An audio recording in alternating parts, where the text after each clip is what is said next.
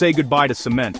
I bet you didn't know the next building material could come from your recycling bin. Cardboard soil water real construction. Cement makes nearly 8% of global CO2. This method cuts carbon to about one quarter of concrete and costs less than a third. Engineers in Melbourne invented cardboard-confined rammed earth. They pack soil into recycled cardboard tubes. They pack water into recycled cardboard tubes, compress it, let it dry and get strong, load-bearing cylinders, without any cement. It's made on-site uses local dirt and even works better in hot climates because rammed earth stabilizes indoor temperatures.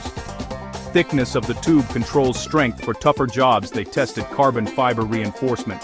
No factories, less transport tons, less emissions, and a clever way to turn landfill cardboard into homes.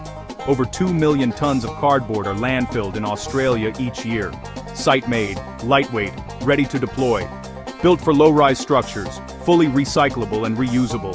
Pilot projects are starting now. Want more wild tech like this? Subscribe. Say goodbye to cement. Hello, dirt and cardboard. Built smarter, built cleaner. Hit the bell. Thanks for watching.